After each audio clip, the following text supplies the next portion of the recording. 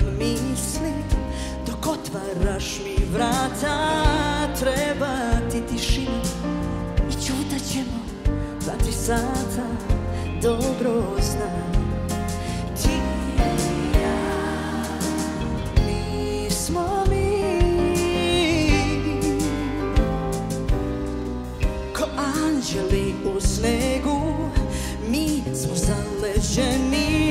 zaleđeni Otopit će nas tuga Ali nikada u meni Dobro znam Ti i ja odavno nismo mi.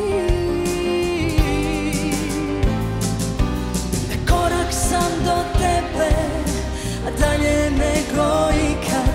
Da li pamtiš u šta smo se kleli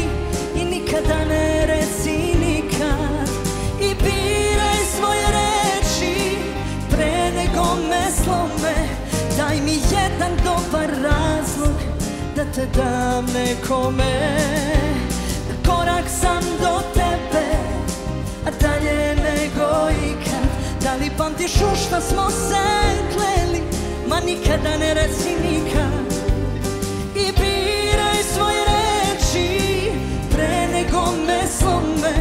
Daj mi jedan dobar razlog Da te dam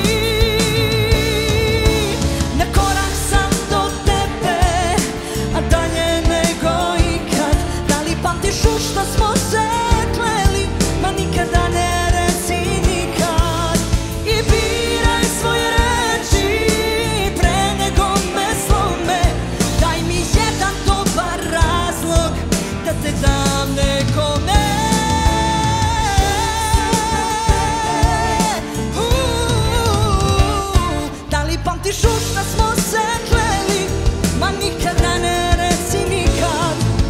I biraj svoje reči Pre nego me slome.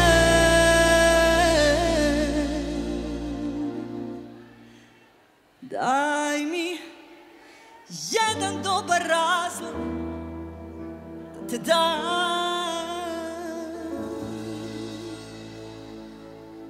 Nekom